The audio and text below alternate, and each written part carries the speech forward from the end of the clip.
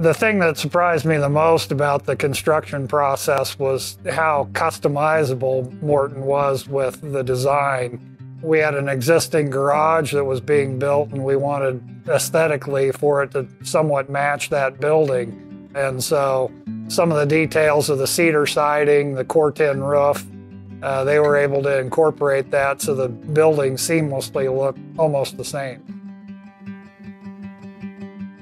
I looked at having a building built by local contractors, but with the options that Morton presented and the ease of buying from them, uh, I went ahead and decided to go with Morton. The process working with Morton was incredibly easy.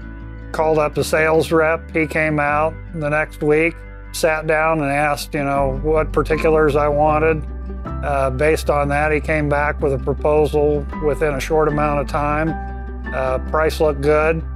Uh, went ahead and um, got everything that I wanted in a building.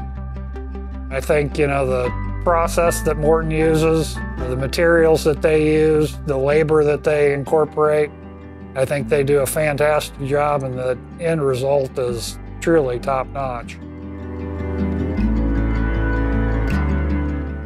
I would absolutely recommend Morton uh, from a price point standpoint.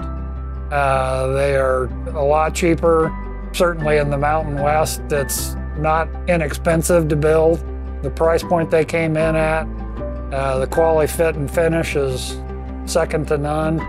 Uh, and just the ease of use of dealing with Morton was very good.